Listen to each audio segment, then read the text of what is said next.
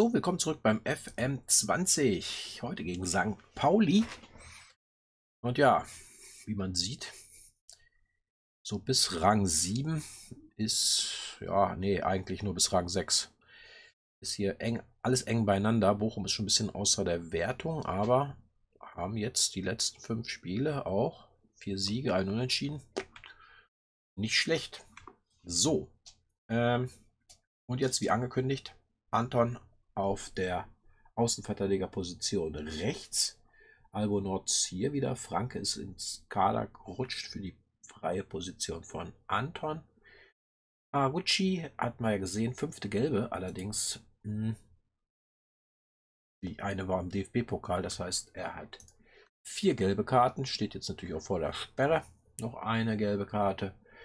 Ähm, Teuchert war dicht dran am Treffer, wir geben ihm jetzt nochmal eine Chance in diesem Spiel. Also da muss er unbedingt treffen und wenn da nicht ist, dann kommt, rückt wieder Weidand ins Team. Ich meine, er hat solide Leistung gebracht. Äh, recht solide Leistung. Ihn jetzt an dem einen Spiel da festzumachen, würde ich ein bisschen unfair finden.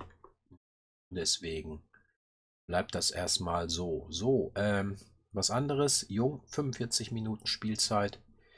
Ostscholek 45 Minuten Spielzeit empfohlen und äh, Prep mit 75. Die sitzen auf der Bank.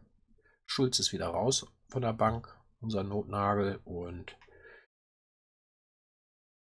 dann haben wir noch Horn, habe ich auch rausgenommen, obwohl er super gespielt hat im letzten Spiel als Albonotz Ersatz auf links. Aber wir müssen unbedingt Ostscholek äh, ein bisschen Spielpraxis verpassen und wäre nicht schlecht, wenn er sich da recht gut anstellt, ein paar gute Noten bekommt, weil wir wollen ihn im Winter abgeben, weil wir unbedingt Geld generieren müssen.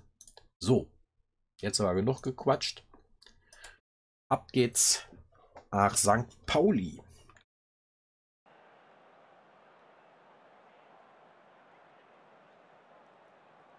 Mhm. Leicht defensiv. Schauen wir mal, wie es wird. So, Teuchert hat eine ganze Weile nicht mehr getroffen. Glauben Sie, dass er kann den Bann heute brechen? Ich bin zuversichtlich. Und Ron Robert hat schon lange nicht mehr hinter sich gegriffen. Dazu werde ich nichts sagen, das bringt nur Unglück. Und steht vor seinem 200. Ligaspiel für den Verein. Ich freue mich für ihn. Mats Möller-Deli. Oh, Form letzte fünf Spiele. 8,02. Haben Sie einen Plan, ihn aufzuhalten? Ich denke, das werden wir bald rausfinden. Wie wichtig ist er heute? Linden Maynard.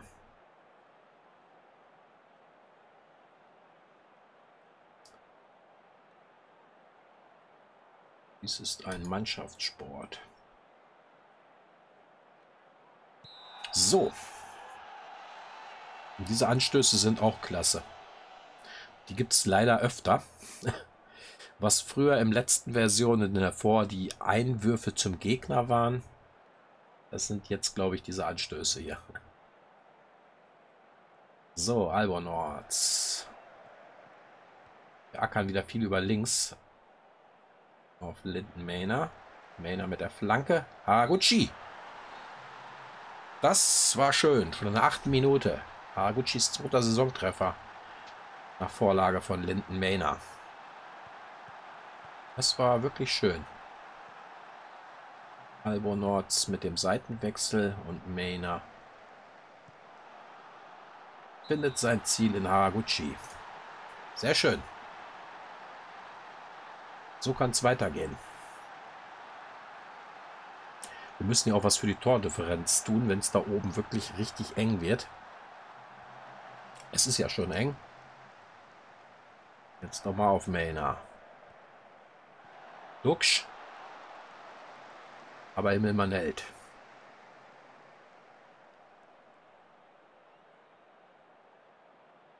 Der macht Gott sei Dank nicht den Müller. Halbzeitansprachen brauchen wir noch nicht.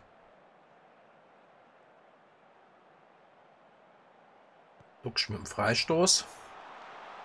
Uh, das war Franke, wa? Schön.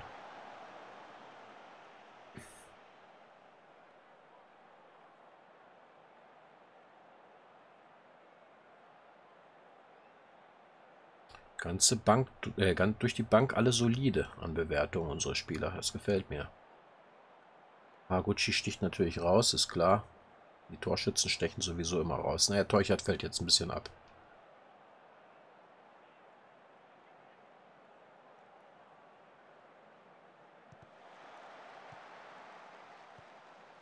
So, Eles.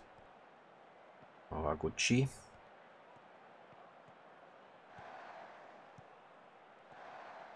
Haraguchi.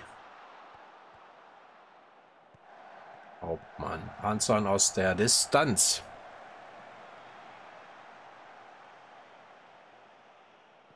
Mena, Freistoß. Haraguchi. Eles auf Linden Mena, abseits. So, 1 zu 0. Und würde mal sagen, wir dominieren. Ballbesitz ist doch recht ausgeglichen.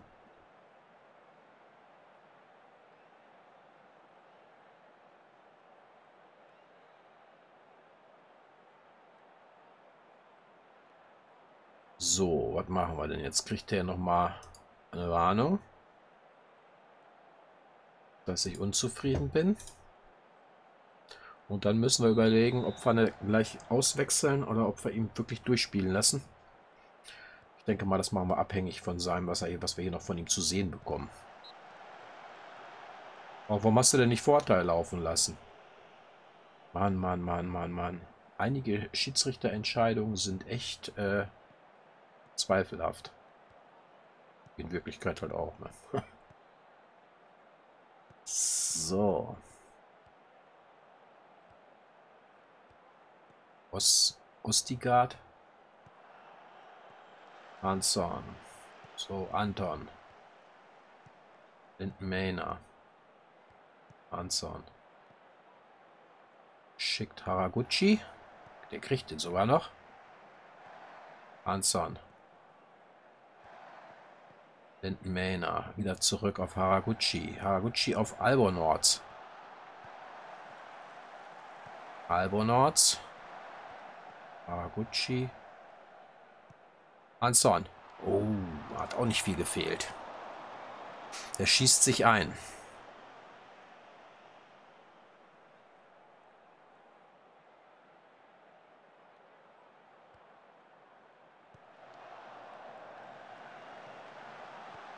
So, Möller, Dahl, Buchtmann, Lawrence,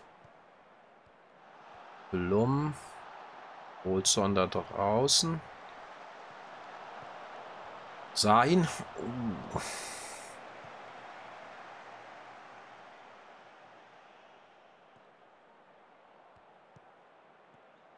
So, Franke. Elis. So, ist er Abwehr. Nein, Hansson spielt nach vorne auf Duxch. Und der scheitert.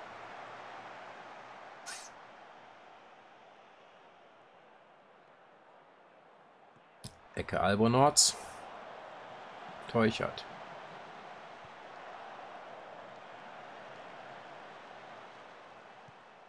Kampf um den Ball. Jökeres. Kann ich nicht lesen, was das Isländer? Ich kenne den Kader von Pauli überhaupt nicht. So. Hm. 6,5. Was ist denn das hier? Fehler. Zwei Fehler. Okay, Lindmähner hat vier Fehler. So. Wir bringen jetzt Herrn Weidand. Hat lang genug geschmort. Als Zielspieler. Und dann möchte ich gerne, dass er geduldig spielt. Das hat im letzten Spiel ja gut geklappt. Dass er mehr Zeit da investiert in den und den Ball da zirkulieren lässt, bevor eine bessere Schusssituation kommt. So, Albonords, Hauptmann. Albonords. Schöner Schuss. Aber ist halt kein Goalgetter, ne? Glaube, der hat jetzt über 115 Spiele und nur ein Tor. Albonotz mit der Ecke. Lindenmähner. Oh, das war ganz schlecht.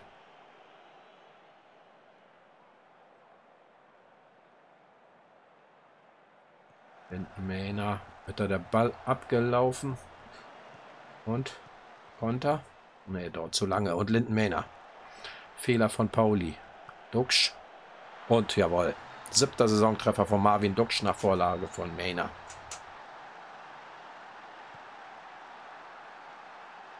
Er trifft gegen seinen alten Club. Schön. Das ist mir doch glatten Lob wert, Leute. Hat das jetzt genommen? Ja, da. So, wir wechseln. Wir mit sich Leute, die Spielpraxis brauchen. Als erstes für Albo Nord. Ostscholek als unterstützenden Flügelverteidiger. Hm. Timo Hübers. Oh, ich würde gerne Dylan George mal wieder spielen lassen. Ne? Der hat es am nötigsten. Für Mainer hier vorne. Ruhig die Attack Duty. Müsste aber Anton eher auf unterstützend gehen. Warte mal. Alles Kommando zurück hier. Dann machen wir was anderes. Du gehst auf seine Position.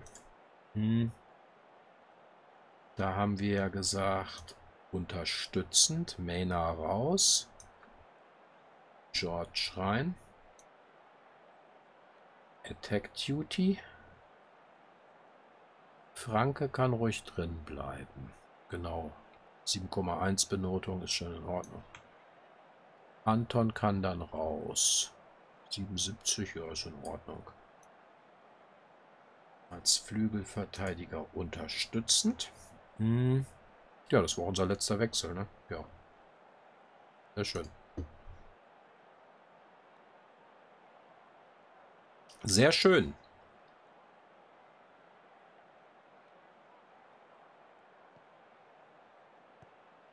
Franke auf Haraguchi.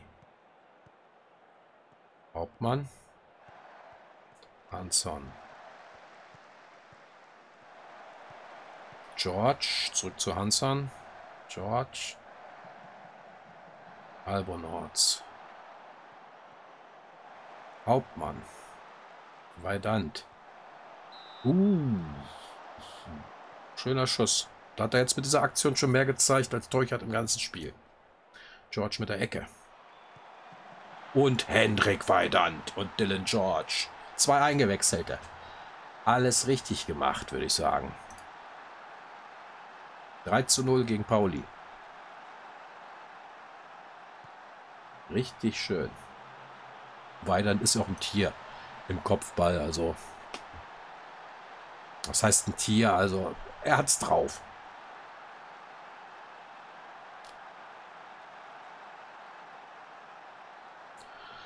So, können wir sie nochmal loben. Und dann fahren wir schön mit drei Punkten nach Hause.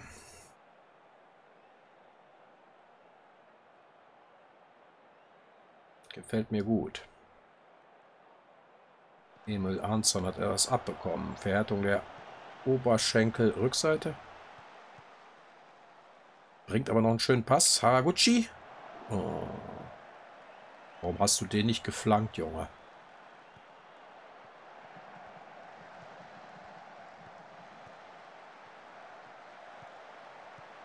Komm, Randa. Möchte nicht noch ein Tor kassieren.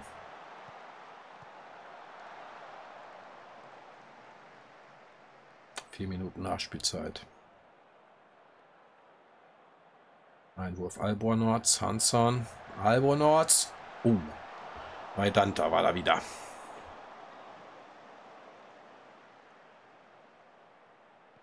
Hansan. George. Hanson.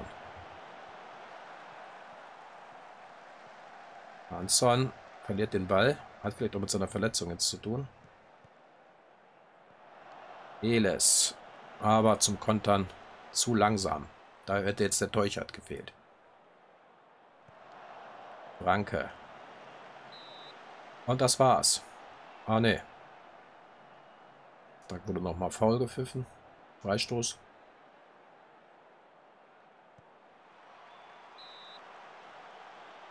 Abseits. Und das war's. Sehr schön. So, aktuell Tabellenführer, aber das heißt noch nichts. Da haben noch ein paar ihre Spielchen.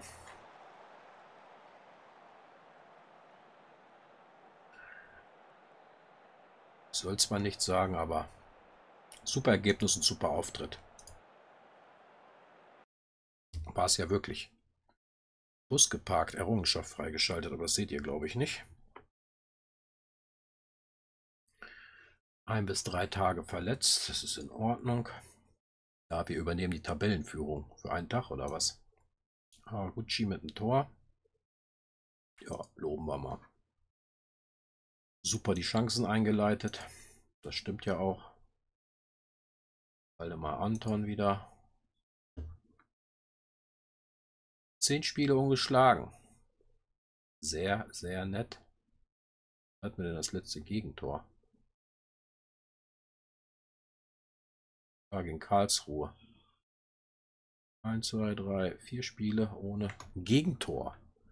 Wie Wirkt sich das denn jetzt aus? Schauen wir nochmal. Wir haben ja noch ein bisschen Zeit. Jetzt noch ein bisschen Zeit auf der Uhr. Gucken wir mal, wie die anderen spielen.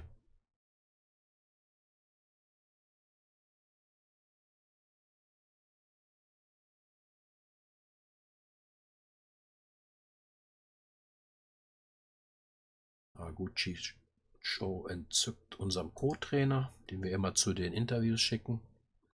So Scouting brauchen wir erstmal nicht. Normalerweise würde ich mich da auch mit beschäftigen, aber jetzt bei dem äh, Spielstand hier, wo wir nur eine Saison spielen, ist mir das egal. Halt, wir waren einer der schlechtesten, hatten wir keinen. Gab keinen Raum für Verbesserung. Oh, Vorstandssitzung zur Diskussion von Verbesserung vom Verein. Der Vorstand würde gerne ein Treffen abhalten, um eine Erhöhung des verfügbaren Transferbudgets zu diskutieren. Ja, gehen wir mal hin. Na Martin, was hast du denn zu erzählen? Wir würden gerne Ihre Meinung dazu hören, ob das Transferbudget erhöht werden sollte, um die Mannschaft zu verstärken. Natürlich. Ich finde diese Idee großartig. Wir sind hoch erfreut, dass Sie unseren Vorschlag angenommen haben. Wir werden uns um die Umsetzung des Plans kümmern. Wir halten es für wichtig, dass wir ein gutes Miteinander pflegen, damit wir unsere Zusammenarbeit fortsetzen können, um hier etwas aufzubauen. Jo, Martin, gerade du. So, was bringt er uns denn? Transferbudget auf 3,86 Millionen. Jetzt muss ich mal wissen, was ich schon geschoben habe bei den Finanzen. Das ist doch super. Wir bräuchten Ostschelek jetzt gar nicht eigentlich verkaufen, aber... Ostscholek ist allerdings auch schon, was haben wir gerade, 29, glaube ich, ne? Und der Vertrag würde eh nächstes Jahr auslaufen. Wir haben auf der Position mit Albonots den Vertrag verlängert bis 22. Und aktuell Janis Horn, der auch nicht verkehrt ist und auch von Köln kommt, genauso wie Hauptmann, ähm, geliehen, nicht gekommen. Äh, ein Backup. Den Backup der ist natürlich nächste Saison, würde der weg sein. Deswegen würde ich jetzt, auch wenn ich den Spielstand jetzt nicht weiterspiele, ich plane mir jetzt mal so, als ob ich es jetzt machen würde. Horn würde gehen, Ostschulek würde ich versuchen zu verkaufen und ich würde dann jemanden Neues holen. Als Backup für Albonords. Ähm, ja, da würde ich dann halt einen nehmen, ja, einen durchschnittlichen. Ich würde jetzt auch nicht unbedingt einen Jungen holen. Obwohl der Verein fordert ja eigentlich junge Spieler. Ja, ich weiß nicht. Es gibt ja auch schon 22-Jährige, die sehr weit sind, so wie Herr Horn. Ne? Man müsste dann jemand anders aufbauen als Ersatz für Albonords. Obwohl er ist mit 29 ist er noch gut dabei. Der kann locker noch drei Saisons spielen. Vier. Da kommt das ja immer mit drauf an. Können wir ja mal gucken. äh, die Grundfitness. Ne? Es bestimmt auch, wie schnell die körperlichen Attribute eines Spielers nachlassen, wenn er sein Zenit überschritten hat und wie gut die Kondition zwischen den Spielen erhalten bleibt. Und er ist mit 16, also der kann mit 34 wahrscheinlich noch spielen. Aber der ist schon einen guten. Also er war schon mal schlechter in anderen FM-Teilen, ne? Aber so, das ist ein grundsolider Spieler.